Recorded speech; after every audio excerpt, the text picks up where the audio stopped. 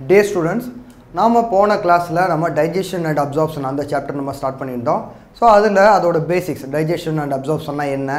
Digestive system human digestive சிஸ்டம்னா என்ன? அதில் இருக்கிற மேஜர் ஏரியாஸ் என்னென்ன? அந்த அவுட்லைன்லாம் நம்ம பார்த்துருந்தோம் ஸோ இன்றைக்கி அதோட கண்டினியூஷன் நம்ம ஸ்டார்ட் பண்ணுறோம் histology of the gut gut அப்படின்னு நம்ம இங்கே என்ன மீன் பண்ணுறோம் அப்படின்னா அந்த அலிமெண்ட்ரி கேனால் அந்த கேனால் ரீஜியன் தான் நம்ம கட் அப்படின்னு நம்ம மீன் பண்ணுறோம் நம்மளோட மவுத் அண்டு பக்கல் கேவிட்டி அதை தாண்டினதுக்கப்புறம் பார்த்தோன்னா அதுலேருந்து ஒரு நேரோ டியூப் மாதிரி அங்கே ஸ்டார்ட் ஆகுது.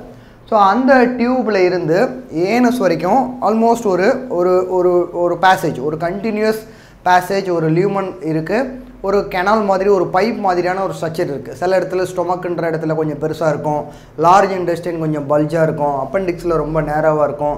ஸ்மால் இன்டெஸ்டின் ரொம்ப காயில்டாக இருக்கும். பட் இந்த மாதிரி வேறு வேறு ரீஜன்ஸ் இருந்தால் கூட ஒரே பைப் தான் அது அப்படிங்கிறத நம்ம புரிஞ்சுக்கணும். ஃப்ரம் த அந்த ஃபேரிங்ஸ் ஈசோஃபேகஸில் இருந்து ஏனஸ் வரைக்கும் அது ஒரே கண்டினியூஸ் பைப் ஸோ அந்த ரீஜன்ஸை நம்ம ஜென்ரல் டேர்மில் சொல்லும்போது கட் அப்படின்னு நம்ம பார்க்கணும். அந்த கட் அப்படிங்கிறதோட ஒரு ஒரு கிராஸ் செக்ஷன் நான் ஏற்கனவே சொன்ன மாதிரி ஒரு பைப் மாதிரி இருக்குது அப்படின்னா ஒரு பைப் எடுத்து நீங்கள் கிராஸில் கட் பண்ணி பார்த்தீங்கன்னா இப்படி இப்படி இதுதான் பைப் அப்படின்னா இது நீங்கள் கிராஸில் கட் பண்ணி இப்படி பார்க்குறீங்க. ஸோ இதுதான் இதில் நீங்கள் பார்த்தீங்கன்னா இதில் என்னென்ன லேயர்ஸ் இருக்குது அப்படிங்கிறத தான் நம்ம இந்த ஹிஸ்டாலஜி ஆஃப் த கட்டில் நம்ம பார்க்க போகிறோம் ஸோ ஒரு ஒரு கட்டோட ஒரு கிராஸ் செக்ஷன் ஏதோ ஒரு ஏரியாவில் அது ஈசோஃபேகஸாக இருக்கலாம் இல்லைனா ஸ்டொமக் பக்கத்தில் இருக்கலாம் இன்டஸ்டைனாக இருக்கலாம் எந்த ஏரியாவில் நீங்கள் கட் பண்ணாலும் you can see four layers அந்த லேயர்ஸ் என்னென்ன? அந்த ஒரு ஒரு லேயர்லையும் என்னென்ன மாதிரியான செல்ஸ் அண்டு டிஷ்யூஸ் அது தே மேக் அது என்ன மாதிரியான ப்ரைமரி ஃபங்க்ஷனை பார்க்குது? அதை தான் நம்ம இந்த ஹிஸ்டாலஜி ஆஃப் கட்டில் நம்ம பார்க்க போகிறோம் ஸோ நான் ஏற்கனவே சொன்ன மாதிரி இதில் நிறைய லேயர்ஸ் ஆஃப் டிஷ்யூஸ் இல்லைன்னா அந்த டிஷ்யூஸில் நிறைய செல்ஸ் இருக்குது ஸோ எத்தனை லேயர் அப்படின்னு நம்ம பார்த்தோம்னா நாலு லேயர் இருக்குது serosa muscularis sub mucosa and mucosa நாலு லேயரில் இங்கே செல்ஸ் அரேஞ்ச் ஆகிருக்கு ஸோ நம்ம இதை எப்படி நம்ம பார்க்கலாம் அப்படின்னா இந்த மாதிரி இன்னர் மோஸ்ட் லேயர் ஒரு டியூப் மாதிரி இருக்கும்னு நான் சொன்னேன். அந்த இன்னர் மோஸ்ட் லேயருங்கிறது உள்ளே இருக்கிற அந்த மியூகோசா இதுக்குள்ளே இருக்கிற ரீஜன் இஸ் கால் லியூமன் இந்த லியூமன் வழியாக தான் ஃபுட்டு பாஸ் ஆக போகுது. நம்ம சாப்பிட்ற சாப்பாடு பக்கல் கேவிட்டி தாண்டி ஃபேரிங்ஸை தாண்டி ஈசோஃபேகஸ்லேருந்து இந்த லியூமன் வழி அந்த பைப்போட அந்த இன்னர் கேவிட்டி அந்த லியூமன் வழியாக அது ஸ்டொமக் போய் ரீச் ஆகுது. ஸ்டொமக்கில் டைஜஷன் கம்ப்ளீட் ஆகி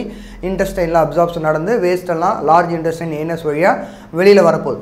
ஸோ இந்த இன்னர் மோஸ்ட் ரீஜன் வந்து லியூமன் அந்த இன்னர் மோஸ்ட் லேயர் வந்து மியூகோசம் ஃபைன் மியூகோசாக்கு அடுத்த லேயர் சப் மியூகோசா அதுக்கு அடுத்த லேயர் மஸ்குலரிஸ் அண்ட் அந்த கெனாலோட அவுட்டர் மோஸ்ட் லேயர் தான் இந்த செரோசா ஓகே ஸோ இப்போ இதோட பொசிஷனை வச்சு இதில் என்ன மாதிரியான செல்ஸ் இருக்கும் அப்படிங்கிறத நம்ம ஓரளவுக்கு அசியூம் பண்ணலாம். செரோசோங்கிறது ஒரு கவர் மாதிரி அந்த அந்த பைப்பு இதுதான் அந்த பைப்புனா இதோட கவர் அவுட்டர் மோஸ்ட் கவர் வந்து செரோசா அதுக்கு அடுத்த இன்னர் லேயர் வந்து சப் மியூகோசா அதுக்கு அடுத்த inner layer mucosa okay so இந்த மாதிரி போகும்போது okay this one is serosa and muscularis third layer வந்து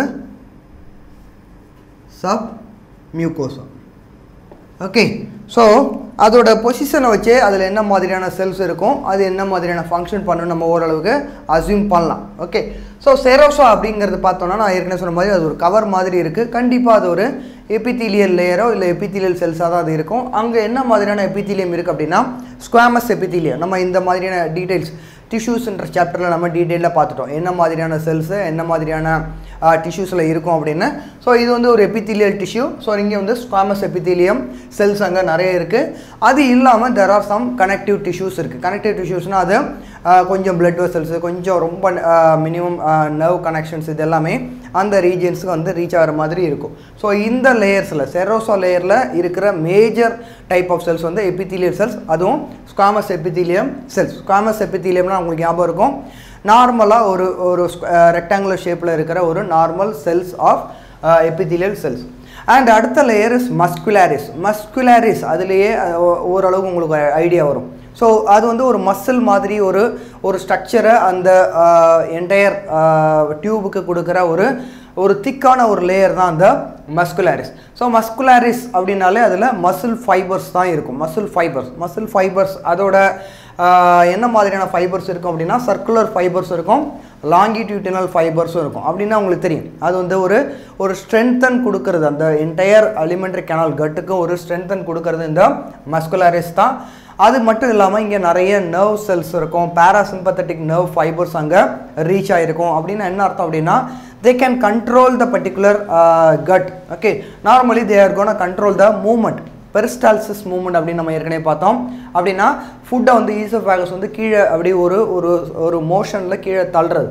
ஓகே ஸோ அந்த peristalsis movement is controlled by parasympathetic nerve fibres அது வந்து இந்த மஸ்குலாரிஸ் வரைக்கும் அங்கே ரீச் ஆகிருக்கும் அண்ட் நெக்ஸ்ட் லேயர் அடுத்த இன்னர் மோஸ்ட் லேயர் உள்ள லியூமன்லேருந்து பார்த்தோன்னா second layer is call submucosa submucosa அப்படிங்கிறது again made up of loose connective tissues connective tissues tissues அப்படிங்கிறப்ப உங்களுக்கு தெரியும் made up of so many different types of cells என்னென்ன cell types இருக்குங்கிறத நம்ம ஈஸியாக அசியூம் பண்ணிடலாம். பிகாஸ் உள்ளே வந்து இன்னர்மோஸ்ட் லேயர் இஸ் லியூமன் லியூமனுக்கு அடுத்து மியூகோசா இருக்குது மியூகோசாவில் தான் ஃபுட்டெல்லாம் அப்சர்வ் ஆக போகுது அப்படின்னா அது அப்சர்வ் ஆகி பிளட்டில் ரீச் ஆகணும். பிளட்டோ இல்லை லிம்ஃபாட்டிக் வெசல்ஸோ அங்கே இருக்கணும். ஸோ அதுதான் இங்கே நிறைய இருக்குது இந்த லூஸ் கனெக்டிவ் டிஷ்யூஸில் என்னென்ன இருக்குன்னா நிறைய நர்வ் ஃபைபர்ஸ் இருக்குது அது இல்லாமல் பிளட் பிளட் வெசல்ஸ் அங்கே ரன் ஆகிட்டு இருக்கு. லிம்ஃபாட்டிக் வெசல்ஸ் அங்கே ரன் ஆகிட்டு இருக்கு.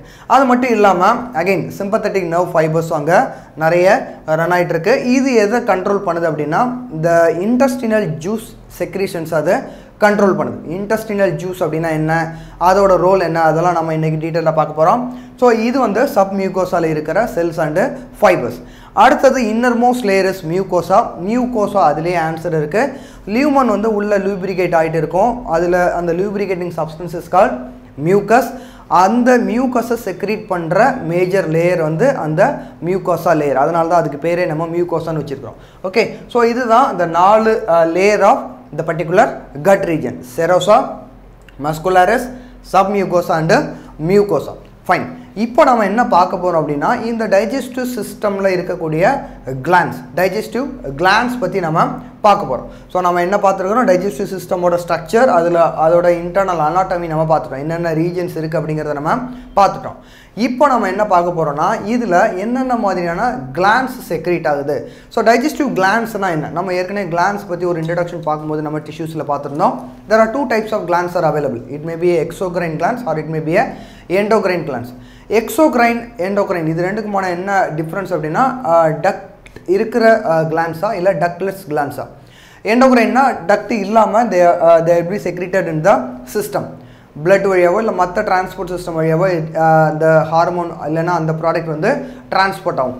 எக்ஸோக்ரைன் அப்படிங்கிறது டக்ட் வழியாக it will be transport to the particular area for example ஒரு இடத்துல செக்ரீட் ஆகுதுன்னா சலைவரி கிளான்ஸில் ஏதாவது ஒன்று செக்ரீட் ஆகுதுன்னா அந்த செக்ரீஷன் வந்து ஒரு டக்ட் வழியாக தான் அந்த ரெக்கார்டு ஏரியாவுக்கு ரீச் ஆகும். அது வந்து எக்ஸோக்ரைன் கிளான்ஸ் நார்மலாக டைஜஸ்டிவ் கிளான்ஸ் எல்லாமே எக்ஸோக்ரைன் கிளான்ஸ் தான். இதில் ஒன்று ரெண்டு எண்டோக்ரைன் கிளான்ஸ் இருக்குது அதை நம்ம பார்க்கும்போது நம்ம பார்க்கலாம். ஸோ நம்ம டைஜஸ்டிவ் கிளான்ஸில் என்னென்ன கிளான்ஸ் பார்க்க போகிறோம் அப்படின்னா சலைவரி கிளான்ஸ் பார்க்க போகிறோம் அதுக்கப்புறம் கேஸ்ட்ரிக் கிளான்ஸ் பார்க்க போகிறோம் அதை விட ரொம்ப முக்கியமான ரெண்டு மேஜர் ஐ மீன் இந்த செக்ரீஷன்ஸ் பண்ணுற ஆர்கன்ஸ் என்ன அப்படின்னா லிவர் அண்டு பேங்க்ரியாஸ் அதோட செக்ரீஷன்ஸ் என்ன அப்படிங்கிறதையும் நம்ம பார்க்க போகிறோம் ஸோ நம்மளோட ஸ்டோரி எதில் ஸ்டார்ட் பண்ணுறோம் சலைவரி கிளான்ஸில் நம்ம ஸ்டார்ட் பண்ணுறோம் சலைவரி கிளான்ஸ் சலைவரி கிளான்ஸ் அப்படிங்கிறதே உங்களுக்கு அடிக்கடி நீங்கள் கேள்விப்பட்டிருப்பீங்க. சலைவா அப்படின்னு நம்ம கேள்விப்பட்டிருக்கிறோம்.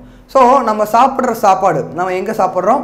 வாய் வழியாக நம்மளோட மவுத்தை தாண்டி பக்கல் கேவிட்டிலேருந்து நம்மளோட டைஜஷன் ஸ்டார்ட் ஆகுது அப்படிங்கிறத நம்ம போன கிளாஸ்லேயே நம்ம பார்த்தோம்.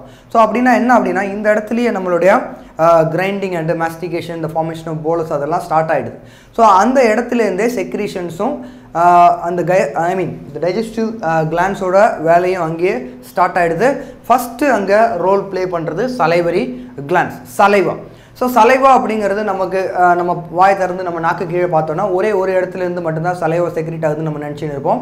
பட் ஆக்சுவலாக நம்மளோட என்டையர் பக்கல் கேவிட்டியில் மூணு ரீஜியன்லேருந்து saliva is being secreted so அந்த மூணு கிளான்ஸ் தான் இந்த மூணு glands parotid glands submaxillary glands and sub mandibular glands. Okay. So there are three glands belongs to the particular salivary glands இந்த மூணு செக்ரீஷன்ஸும் சேர்ந்து செக்ரீட் ஆகிற அந்த லிக்விட் போர்ஷனை தான் நம்ம சலைவா அப்படின்னு நம்ம சொல்கிறோம் சலைவாவில் என்ன இருக்குது அதோட ரோல் என்ன அப்படிங்கிறதெல்லாம் நம்ம இதுக்கப்புறம் பார்க்க போகிற டைஜஷன் எப்படி நடக்குதுன்ற டாப்பிக்கில் நம்ம டிஸ்கஸ் பண்ண போகிறோம் நமக்கு இப்போ தெரிய வேண்டியது சலைவரி கிளான்ஸ்னால் என்ன? அது எங்கேருந்து செக்ரீட் ஆகுது? So there are three glands parotid glands submaxillary and submandibular glands.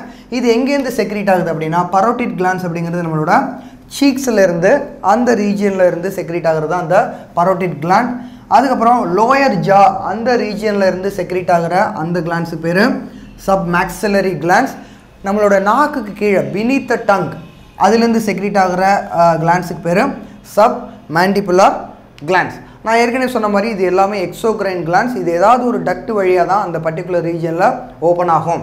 So parotid glands வந்து ஸ்டென்சன்ஸ் டக்ட் அது வழியாக அது ஓப்பன் ஆகும். சப்மேக்சலரி கிளாண்ட் uh, வந்து வாட்டன்ஸ் டக் வழியாக டக்ட் வழியாக அது ஓப்பன் ஆகும். சப்மேண்டிபுலார் அப்படிங்கிறது பார்த்தோலின்ஸ் டக்ட் வழியாக அது அந்த பர்டிகுலர் இடத்துல தேவையான இடத்துல அது ஓப்பன் ஆகும். ஸோ ஆல்மோஸ்ட் எல்லாமே பக்கல் கேவிட்டியில் தான் தேகோன ஓப்பன் தேர் செக்ரேஷன்ஸ் அந்த இடத்துல தேகோன இனிஷியேட் த டைஜஷன் டைஜஷனில் என்ன நடக்குது அப்படிங்கிறத நம்ம அப்புறமா டிஸ்கஸ் பண்ண போகிறோம் த பாயிண்ட் இஸ் சலைவரி கிளான்ஸ்னால் நமக்கு இந்த மூணு கிளான்ஸோட பேர் தெரியணும் அதோட லொக்கேஷன் தெரியணும் அது எந்த டக்ட் வழியாக அது ஓப்பன் ஆகுது இந்த மூணு டீட்டெயில்ஸ் நமக்கு தெரியணும். அண்ட் சலைவரி கிளான்ஸோட வால்யூம் அப்படின்னு நம்ம பார்த்தோம்னா அப்ராக்சிமேட்லி ஒரு அடல்ட்டில் ஒரு நாளைக்கு around one litre to one point five litre அளவுக்கு saliva is being secreted by that particular three glands three pairs of glands இது எல்லாமே பேர்ஸ் அதை நான் சொல்ல மறந்துட்டேன். இது எல்லாமே பேர் பேராக இருக்கும். ஒரு ஒரு கிளாண்ட் கிடையாது. இந்த சீக்கில் ஒன்று இந்த சீக்கில் ஒன்று ஒரு பேர் இதில் ஒரு பேர் அந்த மாதிரி பேர்ஸ் ஆஃப் கிளான்ஸ் ஃபைன் அடுத்து நம்ம பார்க்க போகிற கிளாண்ட் வந்து gastric glands so gastric glands அப்படின்னா என்ன? ஸோ இது வரைக்கும் நம்ம பார்த்தது எல்லாமே ஐ மீன் சலைவரி கிளான்ஸ்னால் அதுக்கு ஒரு ஆர்கன் அது அது ஒரு கிளான்ஸ் ஸ்ட்ரக்சர் இருக்குது அது ஒரு செக்ரீட் பண்ண போகுது. லிவர் செக்ரீஷன்ஸ்னால் லிவர் வந்து ஒரு ஆர்கன் அது ஒரு பர்டிகுலர் செக்ரீஷன்ஸ் அது பண்ண போகுது. பேங்க்ரியாஸ்னால் அது ஒரு செக்ரீஷன்ஸ் பண்ண போது அது ஒரு ஆர்கன் பட் இங்கே கேஸ்ட்ரிக் செக்ரீஷன்ஸ் இல்லைன்னா கேஸ்ட்ரிக் கிளான்ஸ் அப்படிங்கிறதுல இங்கே ஒரு ஆர்கன் இருந்து அது ஒரு ஹார்மோன்ஸையோ இல்லை ஒரு என்சைம்ஸையோ அது செக்ரீட் பண்ணாது. இந்த என்டையர் ரீஜனில் அலிமெண்ட்ரி கேனாலோட இன்னர் லேயரோ இல்லை அதில் இருக்கிற ஏதாவது ஒரு லேயரில் இருக்கிற cells they gonna act as a glands so நம்ம ஏற்கனவே நம்ம இதை பார்த்துருக்குறோம். கிளாண்டுலர் செல்ஸ் அப்படின்னு நம்ம பார்த்துருக்குறோம். அப்படின்னா என்ன அர்த்தம் அப்படின்னா individual cells of the particular lining they can secrete some enzymes and some substances அதை நம்ம என்னன்னு சொல்கிறோம் கேஸ்ட்ரிக் கிளான்ஸ் அப்படின்னு நம்ம சொல்கிறோம் ஸோ ஃபார் எக்ஸாம்பிள் இங்கே நம்ம பார்த்தோம் அப்படின்னா there are some types of cells chief cells peptic cells zymogen cells okay இதெல்லாம் அந்த என்டையர் இன்னர் லைனிங்கில் இருக்கக்கூடிய அந்த கட்டில் இரு இன்னர் லைனிங்கில் இருக்கக்கூடிய செல்ஸ் இந்த செல்ஸ் எல்லாம் என்சைம் செக்ரேட் பண்ணும். கேஸ்ட்ரிக் என்சைம்ஸ் அது செக்ரீட் பண்ணும். கேஸ்ட்ரிக் என்சைம்ஸில் என்ன டைப் ஆஃப் என்சைம் இருக்கும் அப்படிங்கிறத நம்ம டைஜஷன் பார்க்கும்போது நம்ம டிஸ்கஸ் பண்ண போகிறோம் நார்மலி ப்ரோட்டீன் டைஜஸ்டிவ் என்சைம்ஸ் தான் அதில் நிறைய இருக்கும். ஓகே ஸோ கேஸ்ட்ரிக் என்சைம்ஸை செக்ரீட் பண்ணக்கூடிய செல்ஸ் நல்லா ஞாபகம் வச்சிங்க. இது எல்லாமே செல்ஸ் ஓகே ஸோ இங்கே நம்ம பார்த்த மாதிரி ஒரு கிளாண்ட் ஸ்ட்ரக்சர் இங்கே கிடையாது. தே ஆர் செல்லுலார் கிளாண்ட்ஸ் அப்படின்னு அர்த்தம்?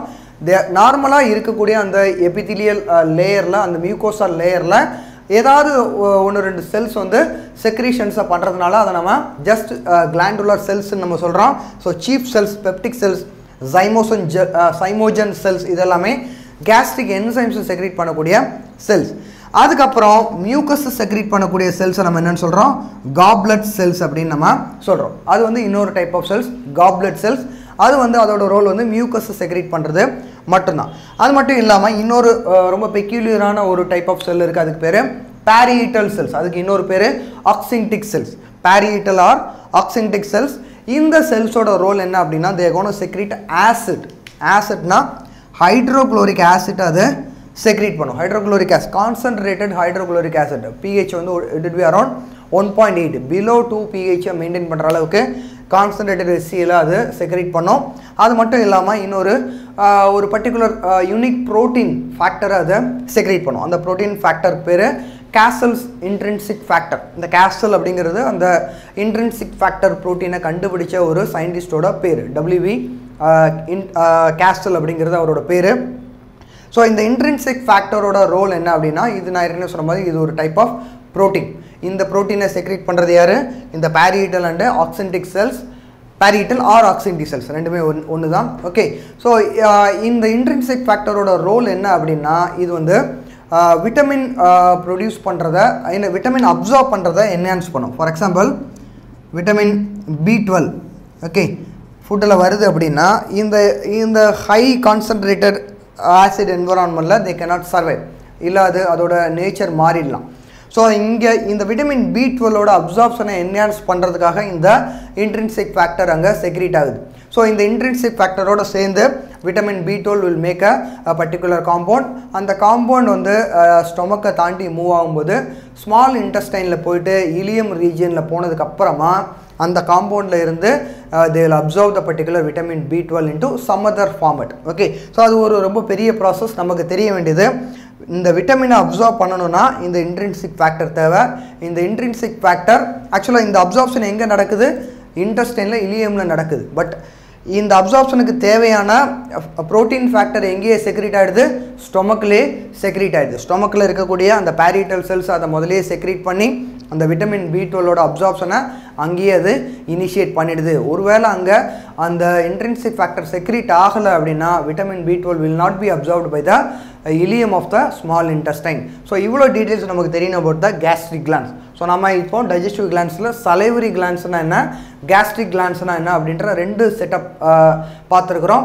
இதுக்கப்புறம் நம்ம the major the long largest glands of the human body அதுதான் இந்த லிவர் அதுவும் அதுக்கு அடுத்த லார்ஜஸ்ட்டு கிளாண்ட் வந்து பேங்க்ரியாஸ் இந்த ரெண்டு ஸ்ட்ரக்சரும் என்ன மாதிரியான செக்ரீஷன்ஸ் அது கொடுக்குது என்ன மாதிரியான டக்ஸ் வழியாக அது டிரான்ஸ்போர்ட் பண்ணுது அந்த டீட்டெயில்ஸ் நாம் இப்போ பார்க்க போகிறோம்